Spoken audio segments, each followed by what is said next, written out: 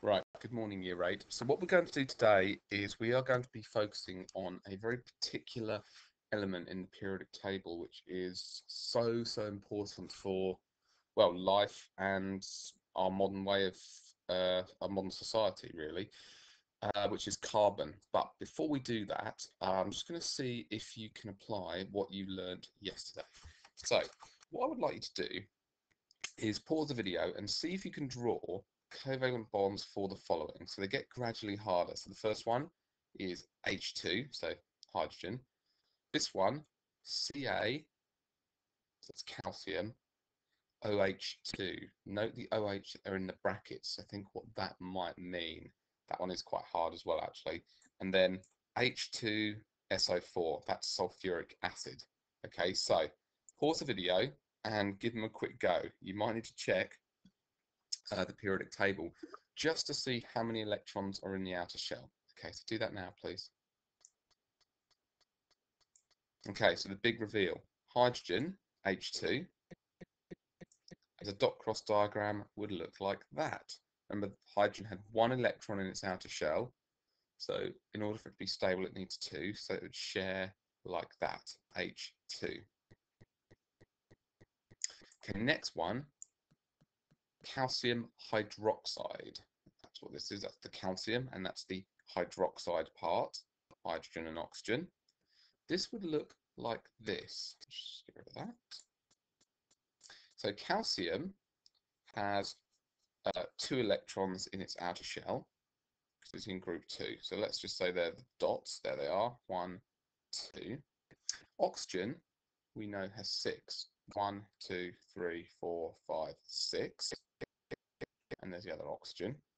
And so, and hydrogen has one, uh, one. And so it can form one covalent bond with the hydrogen there and one covalent bond with the calcium. So that is the hydroxide, OH.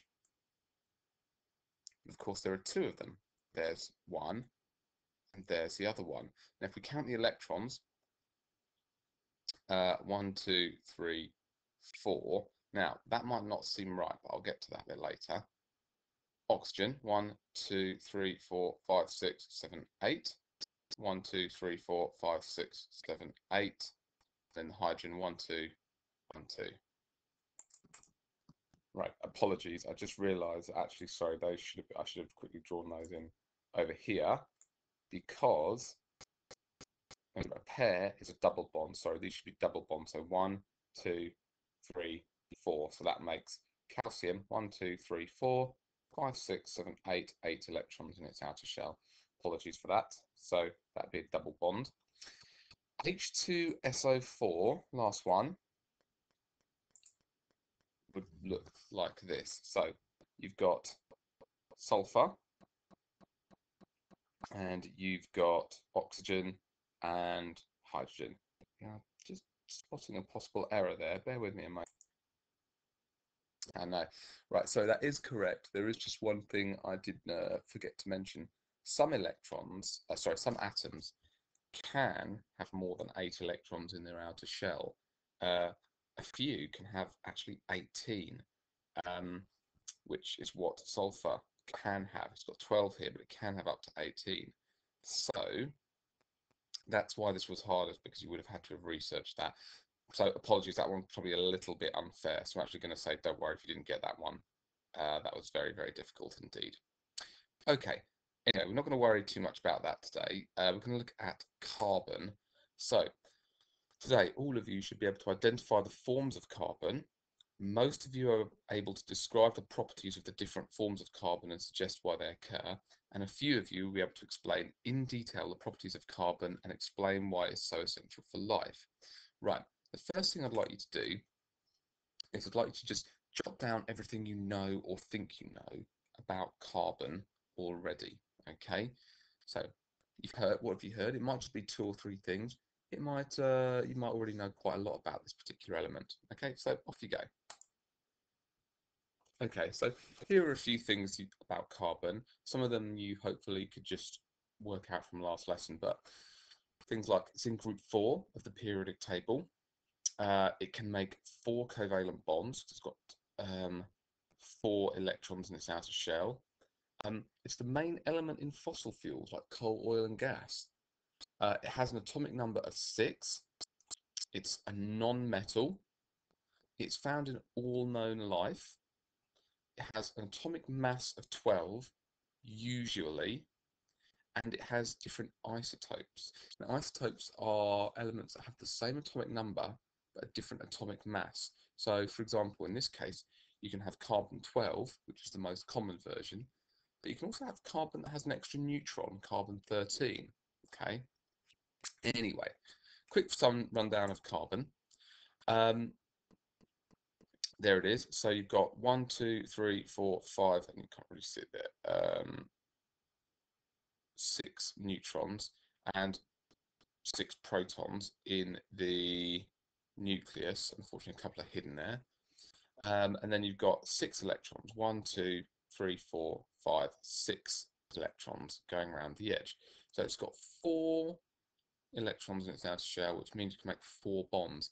Now that means you can make long strings of um, chemicals, you know, and that gives carbon a huge range of properties. We're going to talk through some of those now. So, how do we get this? Because we can't get it by ionic bonding. So, carbon always forms covalent bonds. Okay, so if I just actually just draw in my electrons, just do them in green today, we've got one, ooh, two, and we've got one, two, three, four. Now, I'm not going to draw this because actually um, you already have this from last lesson because methane, CH4, is one of the ones we've already done. So have a quick check back and see how did we make this? It was all by covalent bonding. But carbon can covalently bond in other ways. Now, there are three forms of carbon that you need to know about, okay? You should be familiar with all of them. The first is soot, okay, or coal, just pure carbon, okay? That's what that is. Then there's graphite. Now, graphite uh, you will be familiar with because it's the pencil lead. In fact, your pencil is not made of lead at all. It's made from this stuff, graphite. And we'll talk about the properties of this in a moment. And then the last one is diamond. Now, diamond, it's very difficult to get carbon to the conditions where it makes diamond. And so that's why diamonds tend to be so expensive. So in assignments, there is um, a link to a YouTube clip. You just need to watch the first couple of minutes of that. It'll illustrate uh, some of the different forms of carbon. So do that now, please. So this shows the structure in the ways in which carbon is created. So firstly, this is just loose carbon. These are just random carbon atoms just sort of floating around. This form of carbon, I'm just going to make this a little bit bigger so you can see it. Graphite. Okay, now graphite can do some really strange things. Now, if you look very closely, okay, you can see that it carbon has arranged itself into these layers. Okay, now that's really important because what that means is when you use graphite as pencil lead, if you essentially slide your pencil lead across table, these layers slip off, leaving a mark of graphite. That's how pencils actually write. Okay. The other thing the sharp-eyed people might have noticed is, look, one, two, three. The carbon is only forming three bonds, and yet we know carbon can form four. The way it what's happened to that fourth electron to make that other bond is that it's basically a free electron. It's being used to hold these layers together and it kind of just, just floats around between these layers. Now, a free electron is really, really important because a free electron can, it's very similar to what you find in metals. So what property do you think that gives graphite? Okay, if it's a bit like a metal, what could it do? Right, well, zipping forward, essentially, graphite can conduct electricity. And the experiment we were going to do was we were essentially going to put graphite, soot, and I was to, going to borrow a diamond from someone. And we can see that graphite can conduct electricity through a circuit, but diamond and soot can't. Okay, because if you look here, we've got diamond. So take, for example, that carbon. Let's uh, make that a bit bigger for a second. Let's just say there's our carbon atom just there. One, two, three, four. All of its electrons are being used to hold this diamond structure together. Okay, so we uh, there's no free electron available to conduct electricity, but in graphite there is. Okay, so that's one of the key differences between the two. However, look at the way the diamond is arranged. Every carbon atom is strongly linked to the next carbon atom. Now that gives diamond some amazing properties. It makes it really, really, strong. In fact, diamond is the hardest known substance that uh, we know about. Okay, that's why, for example, in industrial drills, they have what we call diamond bit drills they can literally drill into anything. As you imagine, they're quite expensive and they're not of the quality of jewelry drills, but they're still diamond and they are still very, very, very hard indeed. Okay, so a few other things that we need to know.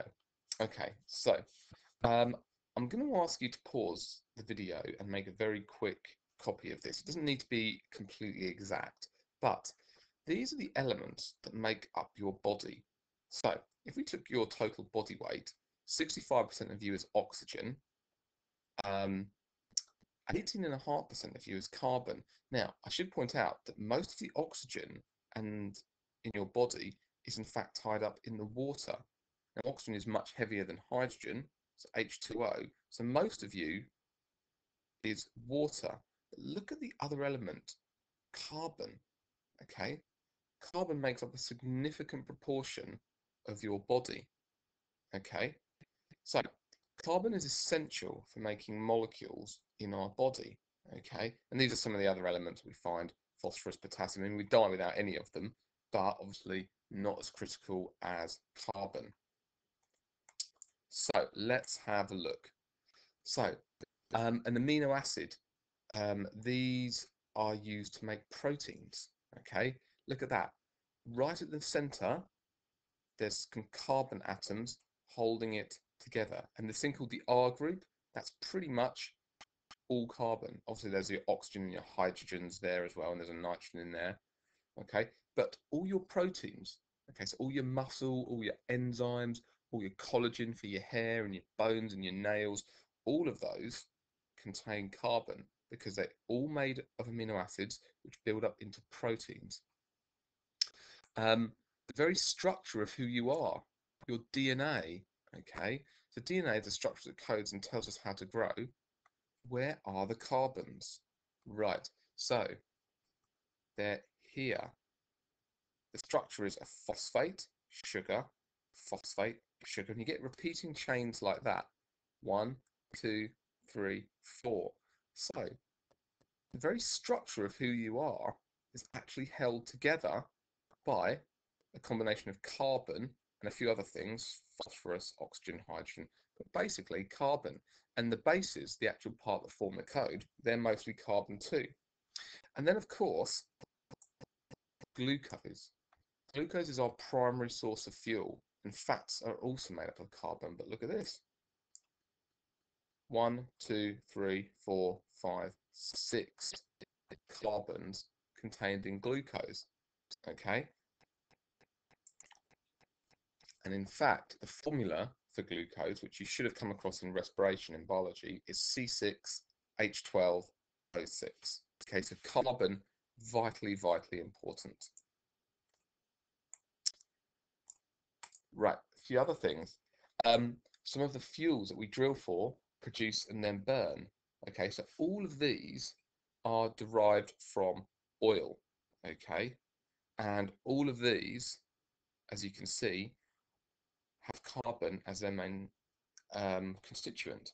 And as you can see, carbon always makes four bonds. One, two, three, four. That's methane. That's the stuff that comes out of gas taps or your cookers at home.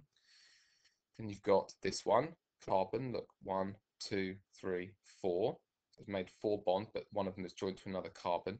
And so what you can get is these chains of carbon like this. Okay. And then how is the carbon technology actually forming? So look at the kind of things we can make from carbon. Um, bulletproof vests, plastic bottles, oil is mostly carbon. Um, we can make things like carbon fiber. So racing cars need a very, very light material. Steel is strong, but carbon fiber is strong and light. So because it's light, it's much better for using things like this. Um, that's true of the new generation of aeroplanes that might be coming out. Um, things like the new generation of spacecraft, uh, plastic bags, sportswear, all of these contain carbon and also nanotechnology. Okay. So your task is this. Um, it, with all the information you've learned today, I want you to do a summary of carbon. It is quite possibly the most important element to your daily lives. So working in pairs, obviously you won't do that. I want you to take a whole page in your book, and when I say that, I mean a double page, and do an information page on carbon. So the different forms that it can take, its chemical structure, uses as a fuel, and its use in living things. So explain how it forms bonds, why it's so important in all walks of life, and any potential development. So how might people start using carbon to create new technologies?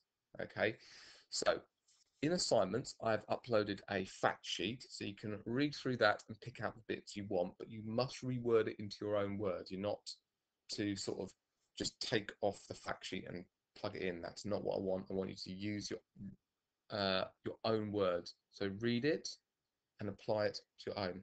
Um, also, use the internet. Okay, uh, you obviously got the internet at home.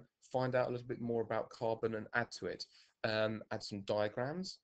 Um, and you can even add drawings of things that carbon is used for. Just one other thing, uh, there was a link here to a YouTube clip. I will also add that into assignments to help you. So I'll be online as always. Good luck.